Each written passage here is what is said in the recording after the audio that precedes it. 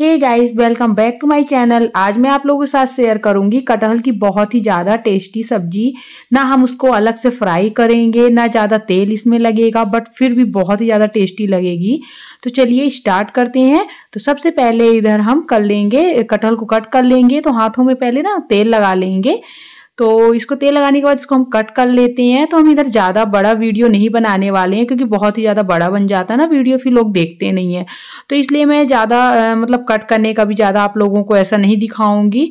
तो ऐसा ना हम ज़्यादा बड़े नहीं कट करेंगे छोटे छोटे पीस ही कट करेंगे। ये देखिए, ऐसे छोटे पीस कट करने में ना बहुत ही अच्छे लगते हैं, खाने में भी अच्छा लगता है। तो उसको बस ऐसे कट करने के बाद इधर हम पानी चढ़ा दिए थे तो पानी गर्म हो गया है। तो इसमें हम डाल देंगे कटहल को और हम इसको उबालेंगे। तो उबलने के लिए रख देते हैं। इधर हम मसाला बना लेते हैं ग्रेवी के लिए। तो इधर मैं प्याज ले ली थी, चार प्याज ली थी, जिनको ऐसे कट कर ली हूँ। और इधर मैं चार टमाटर ले ली थी, छोटे साइज़ के थे। तो चार ले ली और इधर अदरक, लहसुन, मिर्च ले ली हूँ। तीखा आप अपने हिसाब से कर सकते हो। तो सबसे पहले ना हम मिर्च, अदरक, लहसुन और प्याज को डाल के इसका पेस्ट बना लेंगे। तो ये देखिए, हम पेस्ट बना ली और टमाटर को भी पीस ली थी और इधर हम ड्राई मसाले का बना लेते हैं। तो इधर मैं ले लेती हूँ हल्दी पाउडर धनिया पाउडर काश्मीरी लाल मिर्च और इधर ले लेंगे थोड़ा सा गरम मसाला कस्तूरी मेथी, कसूरी मेथी ले लेंगे और नमक ले लेंगे टेस्ट के अकॉर्डिंग और इसमें हम डाल देते हैं पानी, इसको घोल के रख देंगे जिससे मसाला भी हमारा अच्छे से फूल जाए। और नमक हम जब कटहल उबाले थे तो उसमें भी हम डाल दिए थे नमक, इसलिए नमक इधर हम थोड़ा सा कम डालेंगे और उसके बाद जब हम मसाला भूनेंगे ना, उसमें भी हम थोड़ा सा डालेंगे, इसलिए मैं इधर नमक थोड़ा कम ली हूँ। उसके बाद इसको हम मिक्स कर लेते हैं तो ये देखिए मिक्स हो गया मसाला, अब इसको रख देते हैं साइड में और इधर हम ले लेंगे कुछ खड़े मसाले तो ये ले लेती हूँ चैली पत्ता और ये दालचीनी और ये दो बड़ी इलायची और लौंग ले लेंगे थोड़ा सा काली मिर्च ले लेंगे ये सब हो गया है रेडी हमारा। तो चलिए हम देख लेते हैं, कटहल भी। तो कटहल भी हमारा उबल गया है, हमें ज़्यादा नहीं उबालना है। ये देखिए, उबल गया है। ये थोड़ा सा मुझे गर्म ज़्यादा लग रहा था तो मैं मतलब चेक कर ली थी, ठीक था कटहल। तो हमें ज़्यादा नहीं उबालना है कि बहुत ही ज़्यादा सॉफ्ट हो जाए। मतलब जब हम मसाले में बनाए तो वो फिर सौगी सा हो जाए, वैसे नहीं बनाना है हमें। तो ये मैं पानी जो है ना, पहले तो निकाल लेती हूँ कटहल को, अच्छे से पानी से अलग कर लेते हैं। और ये जो पानी है कटहल का ना, वो यूज़ नहीं करने वाली हूँ मैं।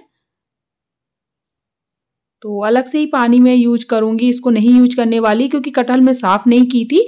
उसके बाद इधर मैं ले लूँगी सरसों का तेल। तो कढ़ाई में सरसों का तेल डालेंगे, जब तेल हल्का गर्म हो जाएगा ना तो उसके बाद इसमें हम डाल देंगे खड़े मसाले और जीरा, राई, मेथी, दाना डाल देंगे। तो मेथी वगैरह खाना चाहिए, पहले मैं नहीं खाती थी बट डालना चाहिए, कहते हैं ना, जोड़ों में दर्द मतलब बॉडी पेन होता है जो तो मेथी खाना चाहिए अच्छा रहता है मेथी खाने से। तो ये सब डाल देंगे, उसके बाद हम डाल देंगे इसमें प्याज वाला पेस्ट तो इसको अब भुनेंगे हम। तो इसको भून लेते हैं। आप देखो, तेल भी हम इतना ज़्यादा यूज़ नहीं किए हैं और जो अलग से हम कटहल को फ्राई करते हैं ना तो उसमें भी तेल कितना ज़्यादा लगता है। तो ऐसे ही आप कटहल बनाओगे ना, आपको बहुत ही ज़्यादा टेस्टी लगेगी और बहुत ही ज़्यादा ऑयली भी नहीं लगेगी ऐसा कटहल सब्ज़ी बनाओगे आप तो बहुत ही ज़्यादा पसंद आएगा। तो ऐसे हम ना, पहले तो प्याज को भून लेंगे थोड़ा तो प्याज भुन जाए मतलब मसाला वाली सब्जियों में क्या होता है, अगर हमारा मसाला अच्छा भुन गया है ना तो फिर मतलब सब्ज़ी बहुत ही ज़्यादा टेस्टी बनती है। तो ये जब प्याज हमारा हल्का सा भुन गया ना, उसके बाद हम ये जो डाले थे मतलब पानी में घोल के रखे हुए थे सूखे मसाले, वो डाल देंगे और इसको भी हम अच्छे से मिक्स करके पकाएँगे। मतलब भुनेंगे अच्छे से।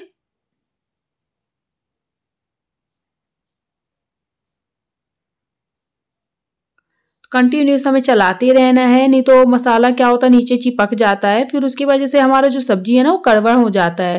तो ये चीज़ बिल्कुल ध्यान देना, आपको भूनते रहना है सब्ज़ी को बहुत ही अच्छे से।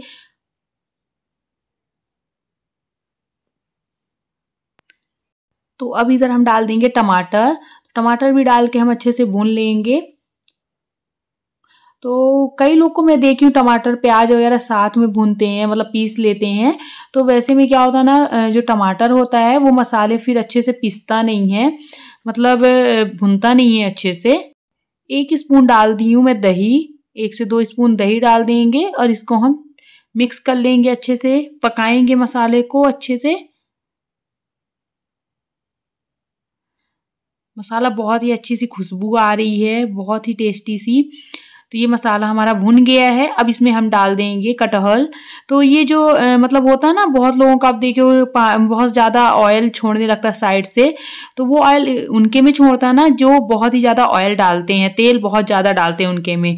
ठीक है? तो मैं ज़्यादा तेल नहीं यूज़ कर रही हूँ तो मेरे में ऐसा कुछ नहीं होगा।